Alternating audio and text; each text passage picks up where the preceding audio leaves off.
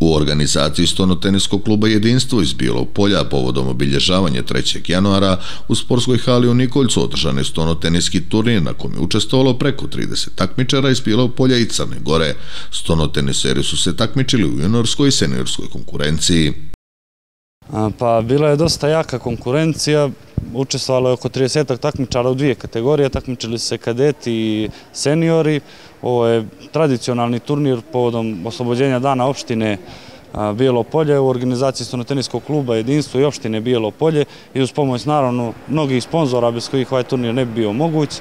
Ja bi se iskoristio u priliku da se zahvalim nekim ljudima kao prvo gradonačelniku Aleksandru Žuriću, Natki Sarić koja je pomogla u traženju sponzora, također i sponzorima. Da li će ovakvih turnira biti u narednom periodu?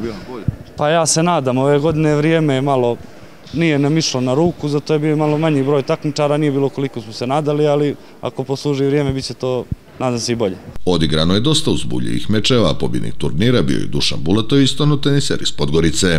Pa konkurencija je bila solidna, međutim, e, prošli put kad sam učestvovao na ovom turniru, bila je mnogo jača konkurencija, nastupio je Irfan Čekić, od koga sam izgubio u velikom finalu, međutim, ovoga puta Irfan se nije pojavio kao ni drugi igrači, stoga mi je bio otvoren put ka prvom mjestu, mogu da pohvalim e, braću Bojana i Branka Cubovića iz jedinstva. E, Branka sam dobio u polufinalu, a Bojana u finalu i zaista je bilo interesantno i nadam se da će u sljedeće godine biti organizovan turnir i učestovati opet.